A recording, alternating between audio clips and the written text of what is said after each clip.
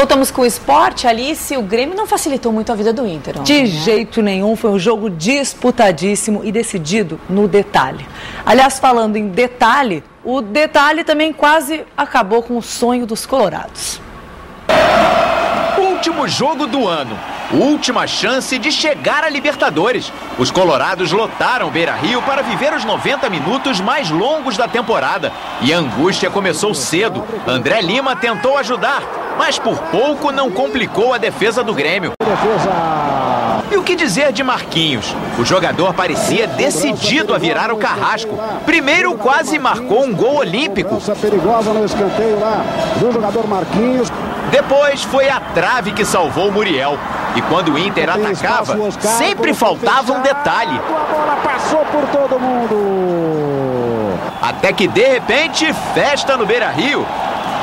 Era gol do Vasco sobre o Flamengo no Engenhão. O caminho para a Libertadores estava mais perto, só que ainda faltava o detalhe. Acho que todo mundo pensa mais em bater do que jogar, esse é o problema. Mas tem que, tem que esquecer isso aí e tentar sair com a vitória. A gente está procurando minimizar ao máximo a criatividade do Inter, porque a gente sabe que se der espaço para eles, eles têm jogadores de qualidade. Então acho que a gente foi, foi bem no primeiro tempo, continua assim para não tomar gol. Mas sabe aquela sensação de reprise? Veio o segundo tempo e olha o Marquinhos aprontando de novo. Douglas também tentou um gol olímpico.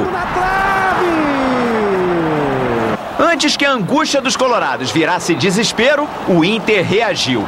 Fábio Rockenbach fez pênalti em Oscar. E D'Alessandro deixou o Inter a um passo da Libertadores. Internacional chegará com D'Alessandro, camisa 10. Gilberto teve duas chances para ampliar, mas sabe como é? Faltou o detalhe. Leandro Damião que o diga. E quando o Atlético eliminou o Coritiba da disputa pela vaga, restava ao Inter apenas garantir o resultado. E foi no sufoco. A cada desarme, cada chutão, cada defesa era uma festa. O Grêmio tentou de tudo para tirar o Inter da Libertadores. Até Vitor foi tentar o gol.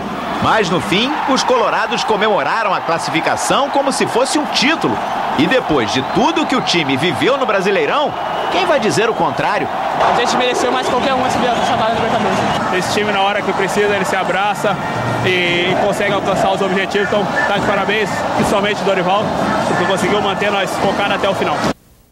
É o Radinho falando tudo sobre o jogo, ali o Radinho. Aqui vai ser fácil. O importante vai ser lá fora, lá entre Curitiba e, e Rio de Janeiro. Só os olhos no jogo não bastava. Ouvir era tão importante quanto enxergar a vitória. Vasco no Rio de Janeiro e Atlético no Paraná também jogavam pelo Inter. E o Radinho virou companheiro inseparável. Como anda a disputa do título brasileiro? Como andam Corinthians e Vasco da Gama, hein, Kleber? Do outro lado, 2.800 gremistas que só vieram para tentar estragar a festa. E eles nem faziam questão da vitória. Se for um empate, está excelente. Um empate tira também eles praticamente da Libertadores. A missão quase foi cumprida. Do lado vermelho, as mãos mostravam a impaciência. Valia rezar, fazer figa, esfregar o rosto e roer unhas. Quando Oscar cai na área e Leandro Voaden aponta a marca do pênalti, explosão vermelha e branca. Os olhos viram o gol de D'Alessandro e os ouvidos escutaram que o Atlético derrotava o Curitiba. Final de jogo e o novo desejo colorado já mostrado nas arquibancadas.